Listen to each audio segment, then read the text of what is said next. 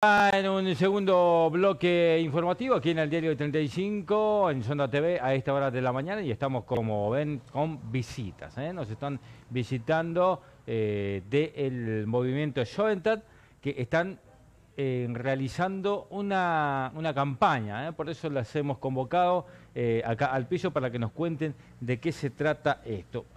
Creo que no lo he pronunciado bien al nombre. Pronúncielo usted que, que conoce bien cómo es. Bueno, buenos días para todos. Eh, somos mamás que pertenecemos al movimiento de Schoenstatt. Ahí está. eh, bueno, y que estamos trabajando en este momento por una campaña que se llama Abriguemos a un recién nacido. Bien. Fabiana Mines, la señora que tenemos en, en pantalla, y eh, Graciela Orioni son las que nos van a explicar de qué se trata todo esto, en qué consiste eh, esta campaña. Bueno, esta, buenos días.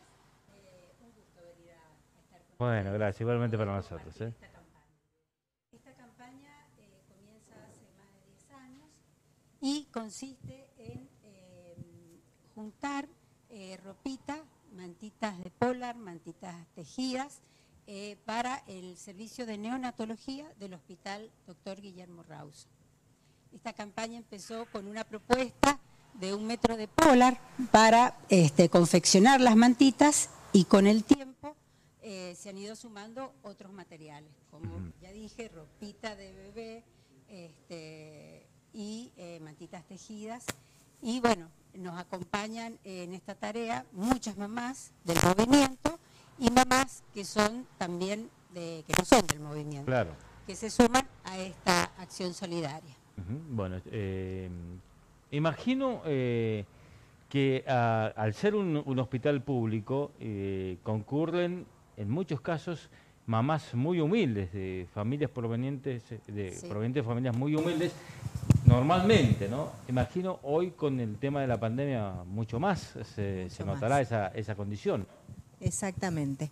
Eh, en este momento, además de colaborar con el servicio de neonatología del hospital, como dijo Gachi, eh, también colaboramos con un proyecto del Frente Joven que se llama Defensores de Mamás, que también es un grupo de jóvenes que trabajan en pro de la vida, ¿sí?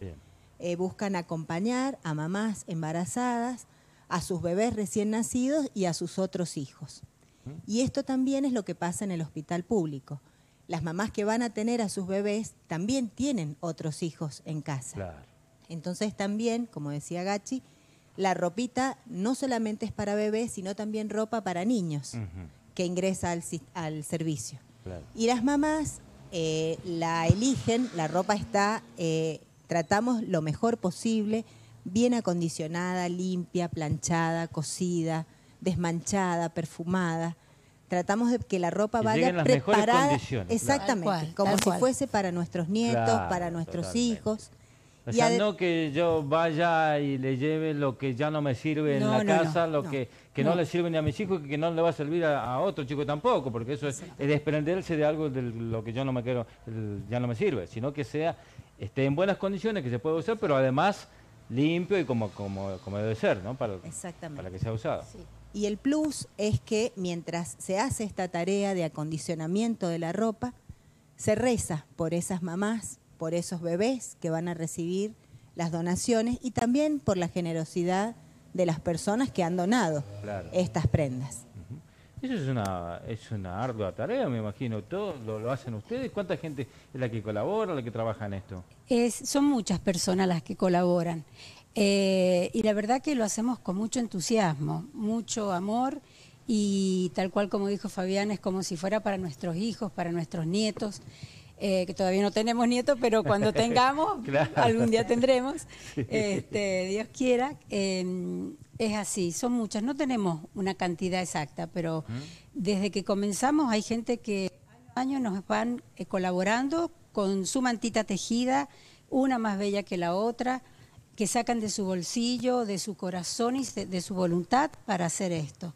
En realidad, eh, San Juan es muy solidario y, y gracias a los medios de comunicación y a las redes sociales estamos ya recibiendo donaciones, por ejemplo, de arena, de Cáritas, eh, de quién más, Casa Cuna, que eh, la verdad que nosotros en pandemia hemos podido llegar al hospital a través de la supervisora, este, que ella es la que nos recibe directamente las donaciones. Entonces, la pandemia no ha frenado el corazón de los sanjuaninos, no ha frenado el corazón y la voluntad de la gente, y eso nos hace sumamente feliz. Así que, ¿cuántas? Somos muchas, eh, pero bueno, eh, eso es lo importante.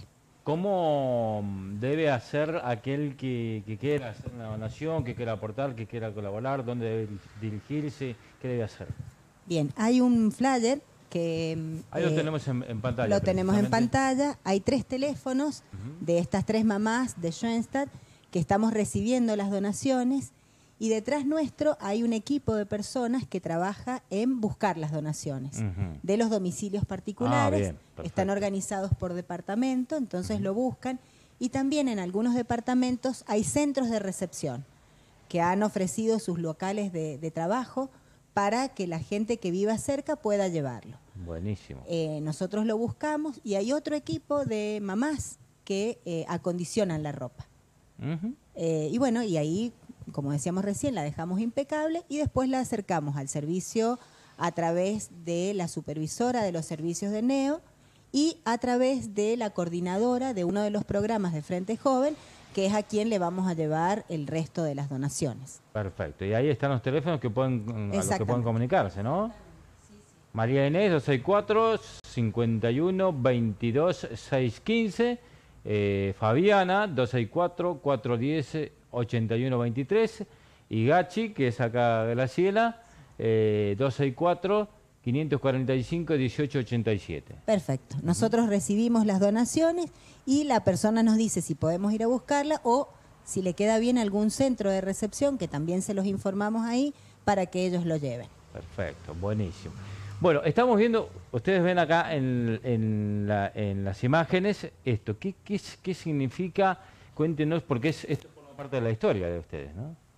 Forma parte de la historia y no solamente de la historia, sino del motor. En realidad, eh, la mater, como nosotros le decimos, eh, que es Nuestra Señora, reina y victoriosa tres veces admirable de Schoenstatt, ella es la que nos mueve, la que nos mueve a salir al encuentro de los que necesitan, em, no solamente con cosas materiales, sino también con la oración, llevándola a ella y mm, Gachi les va a contar del santuario, que es la otra imagen. Bueno, esa imagen eh, del santuario de Schoenstatt es eh, la imagen del santuario que es eh, igual, o sea, es el original en movimiento que se inicia en Alemania y todos los santuarios filiales son iguales. hay en muchos países que está el movimiento y nosotros sentimos que para construir un santuario no podemos construirlo sin la solidaridad y la caridad. Por eso es que la Mater nos ha motivado y nos mueve a esta campaña. Eh, el padre Kentenich eh, es el fundador del movimiento en épocas de guerra, eh, de muchos dolores, y creo que por eso también nos impulsó en estos tiempos de tantos dolores en pandemia a llevar esta campaña con más fuerza, con más energía y, como hemos dicho, gracias a los medios de comunicación es que, es que esto se ha difundido. Em, bueno, somos una gran familia, Schoenstatt es una gran familia, que cada vez que nos vemos somos felices de encontrarnos y que cada vez se suman más porque tenemos una madre que es la Virgen María. Eh, esto explica también eh, por qué al momento de la donación no es solamente aportar lo que, lo que van a donar, sino que va acompañado de la oración también. Exactamente. Algo que no hemos dicho es que cuando comenzó esta campaña, eh, estaban las voluntarias del movimiento trabajando en el servicio de neonatología y en el hospital, en otros servicios. Ellas llevan con, hacen un acompañamiento desde lo espiritual, emocional, eh, compañía, de estar con la gente que está eh, enferma y eh, con, el, con esto de la pandemia no pudieron ir más. Entonces nosotros antes sí se lo entregábamos a ella, a todas las donaciones, y ella las repartían. Pero con la pandemia esto no pudo seguir, Así que es como digo yo, este, y como decimos todos, la Mater nos lleva y nos impulsa a hacer en tiempos difíciles cosas maravillosas que ella nos, nos lleva. Totalmente. Bueno, mm, ¿desde cuándo y hasta cuándo se pueden hacer las donaciones y todo lo demás? Bien, eh, en realidad eh, la campaña de Abriguemos, como su nombre lo indica, cuando empieza el frío, las mamás Claro. empiezan a movilizarse. Pero en realidad la campaña queremos, y en eso agradecemos mucho a los medios de comunicación que nos están permitiendo llegar a todos los departamentos de la provincia, del departamento Iglesia, hemos recibido muchas donaciones que ellos han recolectado en un lugar y esa persona muy generosamente las ha hecho llegar a nosotros. Claro. Entonces la campaña no tiene fin, o sea, las personas pueden eh, llamarnos durante todo el año eh, para que nosotros acondicionemos la ropa y podamos acercarla al servicio porque la necesidad, este, como vos bien decías, eh, de las personas que llegan al servicio es siempre, es todo el año. Sí, sí. Sí, que inclusive se ha sumado eh, y nos han pedido desde el servicio. eh, el servicio de neonatología tiene ocho sectores. Son muchísimos los niños que nacen por, por día. Eh, no podría decir un número pero exacto, pero la supervisora nos ha dado esa información. Claro. En estos tiempos están naciendo muchísimos niños y las mamás eh, vienen sin nada, pero nada, literalmente nada. Así que también a esta campaña se suma una ropita interior nueva, por supuesto, Claro. para las mamás y un camisón en condiciones. Claro. Qué Porque bueno. hasta eso también hay necesidad. Sí, sí, totalmente. Vienen sin nada, literalmente. Así Sí. me lo han transmitido. Sí, sí. Así que bueno, mucho por hacer. Hay mucho por Esto hacer. no termina, esto es todo el año. Todo el año, sí, sí, sí. Porque en el verano también hay que ponerlos bonitos a los bebés Sí. y a las mamás y Sí. abrigarlas desde el corazón. Sí, sí. Y a veces eh, desde la sociedad no tomamos conciencia de todo esto, ¿no? Uno no imagina la cantidad de chicos que pueden nacer eh, en un día, como lo está expresando usted, y las condiciones en que llegan algunos. Por ahí pensamos a lo mejor que, de que todos tienen la posibilidad de, de llevar, llegar con todo preparado, ya programado, decir espero a mi hijo tal, tal día y tengo cuento con todo. Y no es así, lamentablemente, y ahí están ustedes para este, cubrir esos espacios, ¿no? Para, para suplirlos. Estamos nosotros y todos los sanjuaninos. Mm, o sea, claro. en esto todos Sí, es de tenemos. todos, exactamente. Eso, eh, queremos esto, que sea una campaña de todos y queremos que persista en el tiempo. Que todos puedan identificar eh, esta posibilidad de, de acompañar y de ayudar a un recién nacido. Y otra cosa importante de trabajar en red. Esto que, que surge en épocas de pandemia, Sí, claro. como una época de necesidad de unos y otros Sí, sí. trabajar en red, conocernos, porque no nos conocíamos, no nos conocíamos con Casa Cuna, con su presidenta, no nos conocíamos con la supervisora del Hospital de Niños, o sea, no nos conocíamos, pero a través de esto se empiezan a formar redes que pueden Claro. sostener a quien más lo necesita. Vincularse y articular, ¿no? Es la manera más, más eficiente por- porque por ahí a lo mejor trabajamos todos con el mismo eh, objetivo, pero en forma desorganizada y estamos en lo mismo y si no coordinamos, eh, coordinando se puede ser más efectivo, ¿no? Llegar mejor.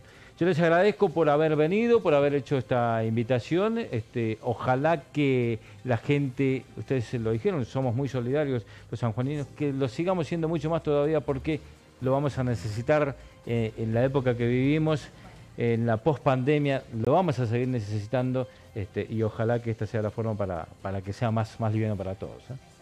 Bueno, le agradecemos mucho, nos hemos sentido cómodas. Sí, Así Bueno, que es nuestra primera gracias. experiencia Eh, experiencia al aire. al ¿ves? aire, pero bueno, todo lo hacemos por, por la mater, que es la que nos lleva. Totalmente. Todo lo hacemos por eso. Bueno, por ya eso. han vencido esos miedos, esos temores, así que los vamos a esperar a que cuando, cuando lo, lo decidan y lo requieran, están abiertas las puertas del canal para ustedes. ¿eh? Cuando gusten. Muy muchas, amable, gracias, muchas gracias, muy amable. Muchas gracias. Ahí está entonces esta convocatoria, esta campaña, entonces, eh, que se llama Abriguemos a un recién nacido. a un recién nacido. Ahí está, así se llama la campaña eh, que están llevando adelante el movimiento Joventat, eh, representada en esta ocasión por estas dos señoras que nos han explicado eh, cómo funciona todo esto y nos hacen poner muchas veces los pies sobre la tierra porque a veces con, con esto de, del trajín diario este, nos olvidamos. ¿no? Muchas gracias eh, por estar con nosotros. Gracias, a a ustedes. ustedes.